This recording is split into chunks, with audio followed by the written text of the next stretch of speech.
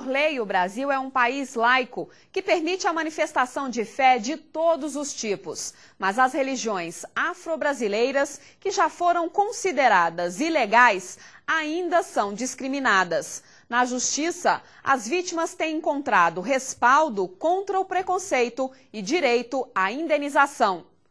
Amparo que o Estatuto da Igualdade Racial promete estender para todas as manifestações culturais de origem africana. Jaciara é filha biológica da mãe Gilda de Ogum, de Salvador, na Bahia. Ela e sua família foram vítimas da intolerância religiosa. A falta de respeito dos seguidores de uma outra religião acabou em tragédia.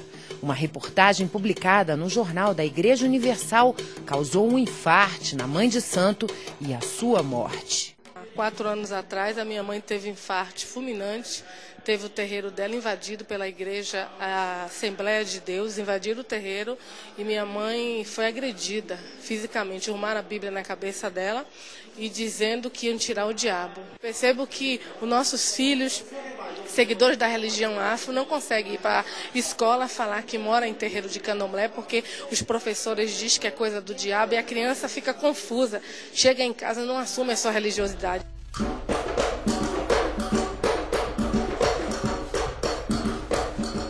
É só na Bahia que os iniciados nas religiões afro-brasileiras sofrem preconceito. A 1.457 quilômetros dali, em plena capital do país, esta Yalorixá foi maltratada por uma enfermeira. Com medo de uma injeção, a mãe Marinalva chamou por Ogum, seu orixá e uma das divindades mais importantes da sua religião, mas acabou sendo amaldiçoada pela profissional. Ela virou para mim e falou assim: se a senhora tivesse chamado por Deus, a senhora não sentia dor. Mas a senhora chamou foi logo pelo diabo, a senhora vai sentir dor dobrada. Chame por Deus. E repetiu. Eu olhei para ela e disse: Você não sabe o que está dizendo. Tomei a injeção. Acho que nem me serviu, porque eu fiquei mais nervosa ainda. Este professor, que coordena um centro de estudos afro-brasileiros na Universidade de Brasília, usa o exemplo do instrumento chamado macumba, que para os estudiosos significa também ritual religioso, para mostrar que as referências da cultura afro-brasileira acabam sendo distorcidas por causa do preconceito. Quando alguém, exatamente quando usa uma expressão, da maneira como a pessoa se a pessoa expressa, ela já está é, é, já tá ali uh, deixando nítido o seu preconceito em relação a, a, determinadas práticas religiosas. É, quando você diz fulano é macumbeiro, é óbvio que esse sentido é pejorativo. Né? Eu, como pastor, jamais diria que o macumbeiro, quando ele faz os trabalhos deles, invoca espíritos né, que ele entende que são iluminados, eu entendo que não são iluminados. É uma escolha que ele tem. Se está certo ou não, é uma questão dele com Deus. Eu entendo que ele está errado. Episódios de intolerância religiosa e preconceito são punidos com rigor pelo judiciário. O caso da mãe Gildásia, lá da Bahia, veio parar aqui, no Superior Tribunal de Justiça. O tribunal determinou que a Igreja Universal do Reino de Deus indenize os filhos e o marido da mãe Gildásia em 145 mil reais e publique uma retratação à mãe de santo em duas edições diferentes do mesmo jornal que denegriu a sua imagem. Discriminou processo. É a melhor coisa do mundo que o STJ fez.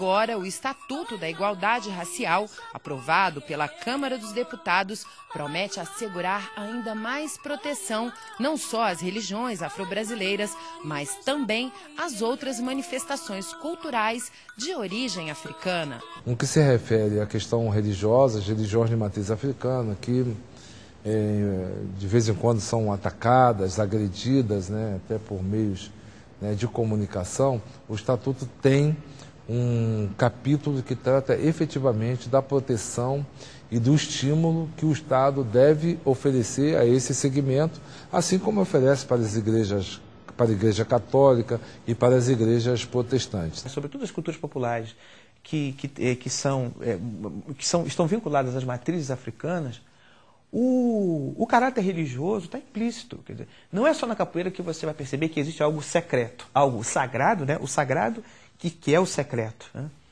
No, no, no maracatu né, existem as referências que são absolutamente secretas, né, que não são públicas, existe o público e o privado. Né? Nas escolas de samba, você tem uma parte que é religiosa, que é reservada, que é para as pessoas que estão visceralmente vinculadas àquele processo. E, e, em várias outras, na Congada, né, nas festas de Congada, tem, a Congada é, tem uma dimensão religiosa inegável. Antes mesmo do novo amparo legal, as religiões afro-brasileiras já ganharam o apoio de uma das instituições que mais a combateram no passado. Então, dialogando com o candomblé significa para a igreja a possibilidade do enriquecimento, enquanto uma instituição né, que tem a sua caminhada, a sua presença no Brasil. Então, dialogando com o candomblé, nós vamos nos enriquecer mais ainda enquanto Igreja Católica. E a oportunidade também de nós aprendermos com os irmãos do candomblé, com as lideranças religiosas do candomblé, toda a experiência da cultura negra, que no candomblé está muito acentuada e é extremamente valorizada. Né? Candomblé, capoeira, maracatu e frevo o jongo, uma dança ameaçada de extinção. Tradições culturais riquíssimas e que sobreviveram em meio a essa colonização europeia que nos ensinou que tudo que vinha da cultura negra tinha pouco valor. Tradições culturais que o Brasil não quer e não pode esquecer. Manifestações que o Estatuto ajuda a manter. Tem mestre de capoeira que nunca foi a uma universidade nem, nem pretende ir, mas são pessoas que têm um saber assim, muito grande, né, a partir inclusive da oralidade, e que é fundamental que nós, enquanto agentes públicos, protejamos e estimulemos esse tipo de atividade.